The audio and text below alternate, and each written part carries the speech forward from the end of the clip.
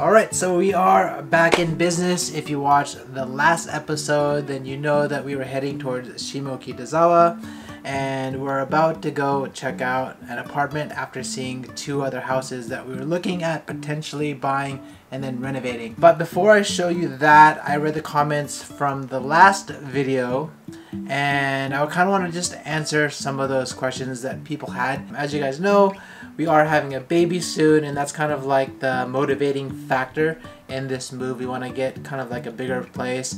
Right now we're staying in Shibuya, but it's a 35 square meter place and that's roughly I think 370 square feet. So compare that to your country. Um, yeah, it's it's quite small. So we're paying about 160,000 yen, which is roughly around like a little over around $1,500 about. We're trying to get something that's around that. That's obviously impossible. We're looking at around 70 square meters. So that's obviously double. One thing that's like really important to me, um, I think Maiko as well, is to stay somewhere in Tokyo. I guess we did get a lot of questions about why don't you move to um, Chiba or Saitama Yokohama. It's a lot cheaper there. The housing is a lot cheaper there. Or maybe go to Hokkaido. Oh or maybe really? yeah. And so one thing is like this channel is mainly about Tokyo. I mean that's why you got Paolo from Tokyo. So you do want to live in Tokyo. And one of the motivating factors about staying central is that it's just easier in terms of filming for at least me like going out um, i just really really dislike trains and getting on trains in general. So if everything is central it's easy for me to just like go outside and film. That's why shibuya is such a perfect place right now. I don't have to travel on the train as much to, to get to where i need to go. Um, and then also we'd like to stay in a station that is relatively busy because when we like we work from home. So if we want to get some food if we want to go shopping we want it kind of all in that station without having to get on the train which just makes life a lot easier and again that's probably why we have to pay like a premium in order to do that I like to stay right by the station because Yeah. I wear high heels. I don't want to walk. It makes me like I. It makes me want to cry if I have to walk over like five minutes. Oh Yeah. So I I used to live in this place that was like almost ten minutes away, and I almost cried. So I'm not doing that. I like a big kitchen. Small kitchen doesn't make me want to cook. I, I love cooking. So Yeah. like it needs to motivate me, you know. So just to talk about location a little bit more, when I first came to Japan, I moved to Hirai, which was, Out um, of nowhere.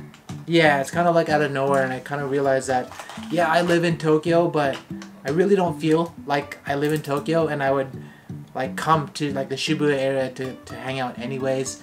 So I decided like, you know, I want to move closer. So then I moved to Gakugei Daigaku, which is people call it Gakugei Dai. It's kind of like the trendy younger place, but I kind of made the mistake at that time of moving to a house that was 12 minutes away. Oh, Jesus Christ. No, no, sorry. It was t- like 10 minutes, but it, I Oh, think it was recorded 10 minutes, but maybe it like took 12. So it was such a long, long walk every day, and it sucks when it's raining Yeah. and when you're shopping and you're buying like groceries and stuff. So it was really nice. It was like a designer mansion at the time, um, but it was cheap because it was far away from the station. I have been moving uh, along the Denen Toshisen. Yeah. Like the train line is also really important in Japan and in Tokyo because everything has how do you say characteristics. And then Toshisen is one of the busiest because there's a lot of people living on that train and it's like there's like a lot of trendy cool cities. Yeah. So, like when you get on the train, the busiest time, like it's super, you know, crazy that like my bag's here and my body's here. You know, it's it's just like I couldn't stand it. So I don't. I want to avoid that line. Yeah. I think I prefer. Yamanote-sen. Yes. That's why I kind of just like like living here, um, and I just value being able to just step outside, have all of the shopping. The other day, I had to go to the ward office, and it's um, just close by in Shibuya. The, you know, Shibuya ward office is here. Um, I had to get some documents notarized, and there's a notary here. Then if I need to go to the Apple store or the electronics store, it's all here. There's just it's just so convenient. So it, trying to find something like that is almost impossible unless you like live in Shibuya, Shinjuku, Ginza. Ikebukuro. So like location is important. Um, it's but it's not the the biggest factor, I think. Um, right now we want just more space, so we might we're almost willing to trade some of that convenience in for the space, but not completely give up that city feel. That's why Nakameguro, that's why Shimokitazawa, that's why these areas are quite attractive for us, right? But another one of the comments that we get um, is, you know, you don't really need to move so soon because, you know, even after you give birth, maybe like four to six months afterwards, then you can just like still live in a small space it's no problem with a, with a baby. Ah. Um, but what a lot of people don't may not understand or may not know is that we not only live here, but we also work here all day, editing, you know, making videos, recording stuff. It was okay when it was me by myself, but since you know Maiko Yeah. moved in, it's just like just more and more stuff. And just adding a baby is probably not a lot of space, but adding all the baby stuff on top of that is just way too difficult. And then we do shoot here. And if you've ever tried to make videos before, you'll know that a lot of the times setting up the camera and getting all that ready just takes time. And if you have to go through that process every time we film one of the videos inside of the apartment, then it's kind of a demotivator right? We don't really want to do it because it's just so much work to set up. So the idea is to actually have maybe a separate room or a separate space where we can just leave a camera up. We can just film whenever we want so that eventually we can just produce more videos for all of you. Right now we have to set up the tripod every time, set up the camera, set up the mic. Just I want to make more videos for you. Right now we're like producing one video a week on the main channel. So having this more having more space just allows us to kind of do that and just film when we want to. Yeah, so I think in general, just to say it again, we're looking at something with 70 square meters. It'd be great if the apartment had three rooms, but we're okay with a 2 LDK, which means two bedrooms, living, dining, and kitchen. Some of the nice things to have would be to have an island kitchen, so maybe if we do videos in the future, Maiko could potentially do some like cooking videos to show you guys because if it's like against the wall or in like a little tiny room, it's just really hard to film that sort of stuff. Another big thing for me is having just a nice view. I know that's kind of asking a lot, but a lot of it is kind of how you feel. And if I don't, if I feel like I'm trapped like inside of some walls and all I see is I look outside my window and I see the wall of another building or another house is looking into my room, I just want to shut the curtains all the time. So kind of want to avoid that if possible. That's a big thing for you. Huh? Yeah, I think it's a really, really big thing for me. I, I actually don't really care so much. Oh, and another thing is we would prefer to have 24 hour disposal. One of the things you'll find in a lot of apartments here in Japan, especially a lot of the older ones, is that in order to throw away your trash, um, if you don't have 24 hour disposal room, you'll have to wait until the particular day to throw away your trash. So if you have your burnables, you have to wait maybe twice a week, and you have to do it like before 8 o'clock in the morning. So I hate that. If you Um, cook, if you cook a lot, worst. it's really terrible. One, Yeah. and then two, It gets sticky. if you have like a baby which is coming soon, Mm. we don't want to have diapers. I hear that this they uh, I hear they have like a machine to like shut the smell for each omutsu Oh, really? diapers. Yeah, but like I also hear that's expensive, and like you keep on buying the car- cartilage, Cartridge. which is also Car- ex- car- cartridge. cartridge, cartridge, Uh, cartridge. car- cartridge, right? cartridge. Cartridge. Cartridge. I said it right. You said cartilage. Cartridge. Cartridge, yeah. Cartridge.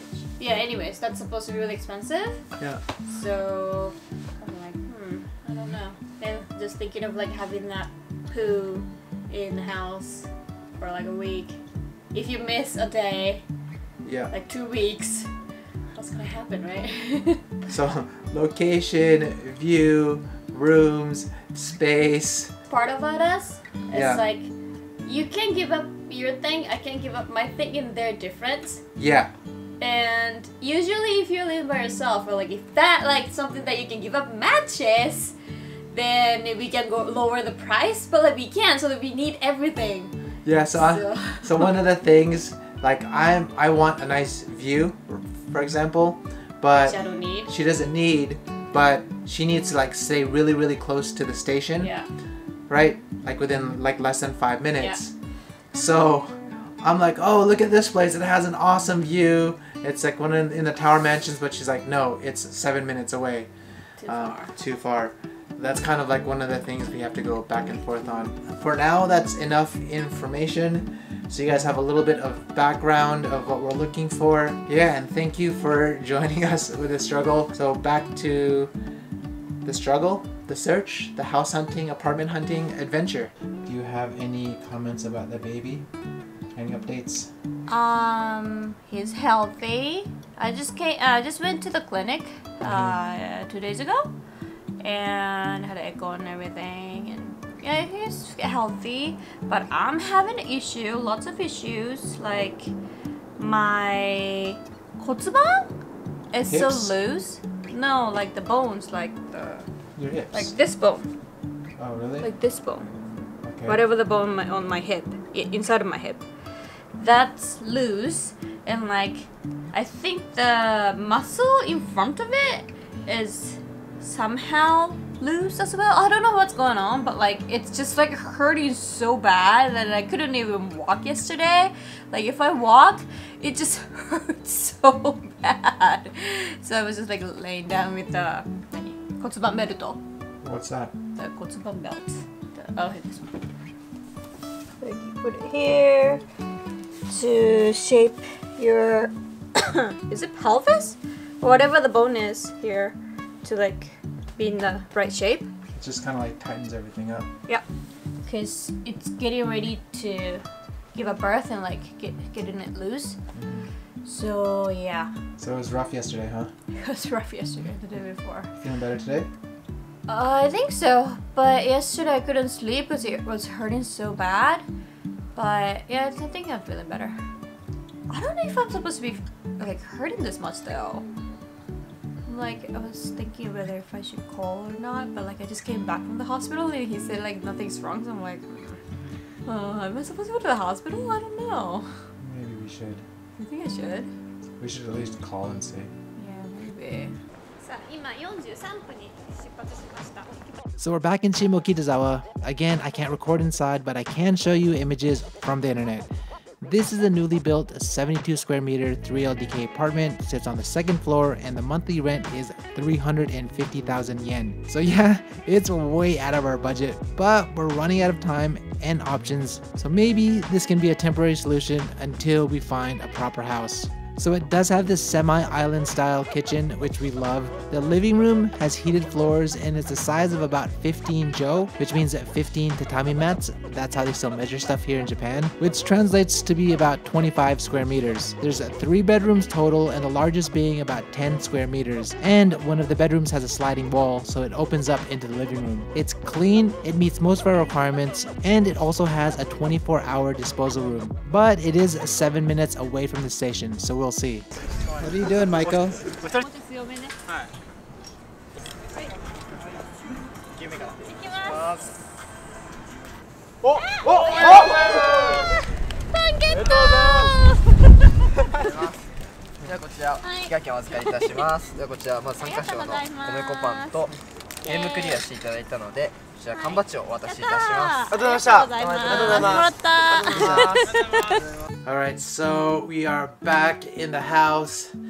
The last property, as for renting, actually looks pretty good compared to a lot of other places we saw. Um, not the best property, but it's actually in a location we want to go, which is Shimokitazawa. Um, it's a little bit further from the station than Maiko would like, but for me, it's as far as our place is from Shibuya Station. The only difference I can see is that when you're walking to the station in Shibuya, there's like people and it's like kind of busy, so you kind of get distracted and you don't really like feel how long it is. Whereas that place, like halfway through, it becomes really residential. But I I guess that could be a good thing because it's quiet. But here is the issue. After we said we'd see the house, we met with a lady, and she tells us that the place, the reason why it like became available again was because the person that was gonna rent it um, didn't put down their deposit or pay for like the initial fee, which is like deposit, the key money, which is the gift money, um, first month's rent, guarantor fee, like all of that. They didn't actually send over the money to the company, and they've been waiting for a week. So they didn't think that that person was gonna pay, so they offered it to us. So we was like, finally, we're gonna go see it today. And then when we saw the lady, she was like, well, it looks like they said that they actually might bring the money. We're giving them them until four o'clock tomorrow. Apparently, this guy is like maybe a famous in Japan, and Don't say that detail. so basically, this person is a famous athlete uh, here in Japan, and apparently they didn't pay it because I think their sponsor was supposed to pay the initial fee, and they never got the, the money from the sponsor. And it looks like he said that they're gonna bring the money in cash tomorrow, which is a lot of money in cash. So if they don't bring it by four, then it'll open it up to us and we can apply for the apartment, which is like, which is good news, but yeah, we don't know. We won't know until four o'clock. So we have it's three. It's 3:30 right now, so we have a little bit over 24 hours to wait and see whether or not we can get this place. So we're still working. We're still searching for a place. We're praying for the baby. There's a lot of stuff going on. And I guess we'll just have to wait until tomorrow and see what happens. If you guys want to see if we get this new apartment or not, hit that subscribe button and the bell button, and I'll catch you guys in the next one.